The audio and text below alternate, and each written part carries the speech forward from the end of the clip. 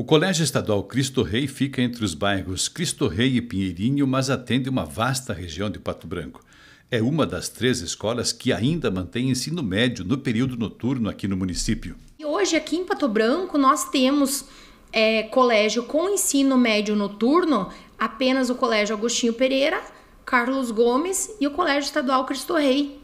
Então, por isso essa necessidade de a gente manter a abertura dessa turma do primeiro ano do ensino médio noturno, para que essa população dessa região possa continuar tendo acesso ao ensino público de qualidade, sem ter que pagar um transporte particular, sem ter que pagar uma van para se deslocar para outra escola para estudar.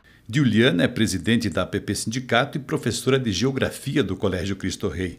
Explica que, junto com a comunidade escolar, está na campanha para atrair alunos e manter o ensino médio na escola. É um colégio que tem mais de 50 anos de história naquela região.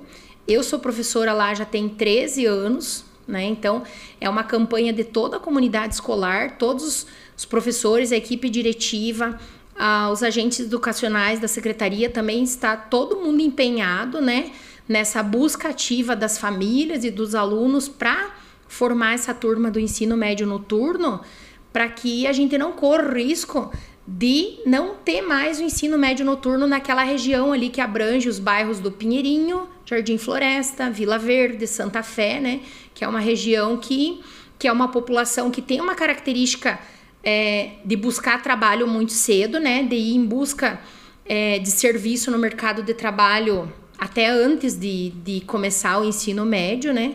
Então, por isso a importância da manutenção do ensino médio noturno naquela região. Explica que o Núcleo Regional de Educação deu até esta sexta-feira, dia 18, para completar a turma de 30 alunos para abrir o primeiro ano do ensino médio agora em 2024 os pais ou responsáveis têm que ir até o colégio para fazer a matrícula. Simplesmente as famílias comparecer na escola até sexta-feira, porque os pais têm que assinar a carta de anuência, né?